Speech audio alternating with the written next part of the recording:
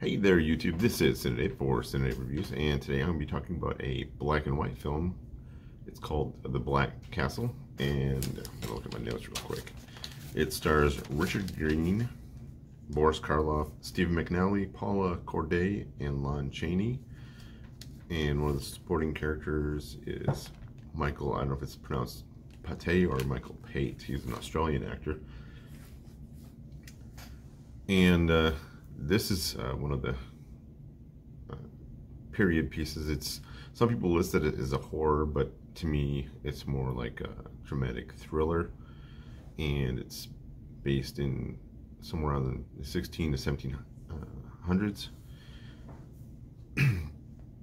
One of the things that uh, I find uh, sad is like when I see films like this that have such interesting and intricate costumes is because they're in black and white. I, we don't get to see the color of the, the fabrics, and to me, uh, something is is definitely lost. Even though the black and white uh, film has an interesting look to it, and is definitely a unique genre in and of itself. Uh, I still would have liked to see what those costumes would have looked like in color. So basically, this film is about uh, some uh, noble guy uh, who's played by the Stephen McNally. Uh, what happens is he has some friends that are missing and he thinks they've been murdered. So he ends up uh, getting invitation to this lord's place and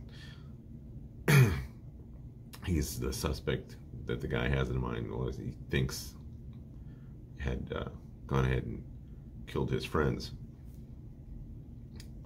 and uh, the reason he thinks so is because there was a confrontation in Africa between uh, some people in uh, I believe it was military uh, versus this, uh, I believe, a count. And the count ended up uh, getting injured and losing his dominion over a large swath of Africa because he had planned on basically making it into his own little uh, empire. So we get to see him travel cross country and go into the Black Castle and we can see the different intrigues that are going on. Um, one of the outstanding characters for me was the one that was played by uh, Michael Pate. I mean, his his look that he had, uh, he really sold uh, that he was the Count's henchman.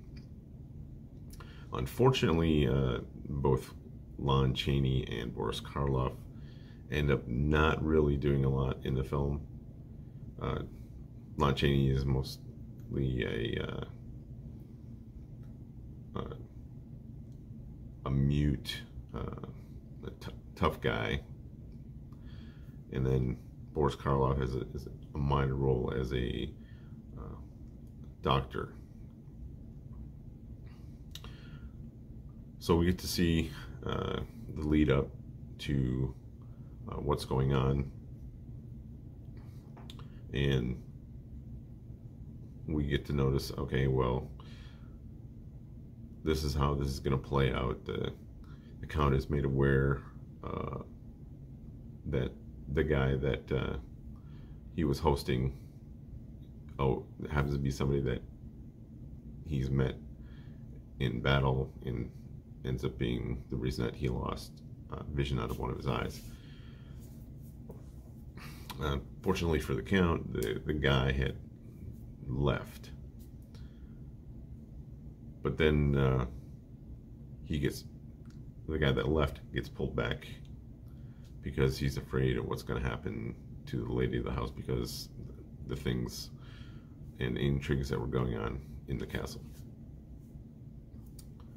So you can see the plot developing. You uh, and one trope um, that I don't like is the one they started this out uh, was basically foreshadowing what's going to happen in the very end, and they put it at the very beginning.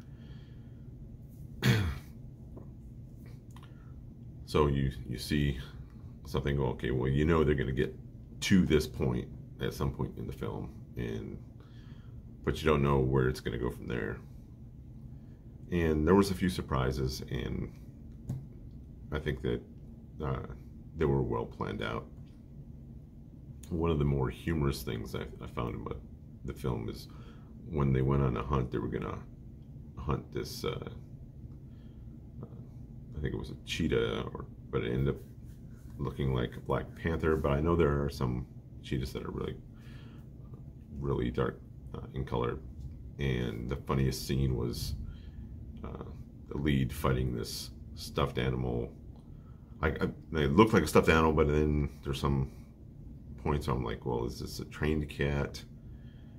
And he's just playing with it on on one uh, shot, and then they switched out for the stuffed animal, but it was still humorous. I guess it would be exciting uh, to audiences that haven't seen anything like that before overall, I, I found it uh, an enjoyable watch, and it's interesting to see where the story's going to go. And it's around uh, 82 minutes or so, so you can definitely watch it. I would give it a B on the film scale because it's well acted, uh, but I would have liked to see more from both Lon Chaney as, as his character doing more things other than just being a, a big brutish guy, and Boris Karloff, other than the few scenes that he had.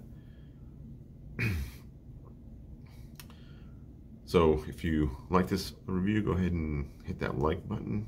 Go ahead and throw a comment down below. Let me know what you want to see in the future, and I'll see y'all in the next review.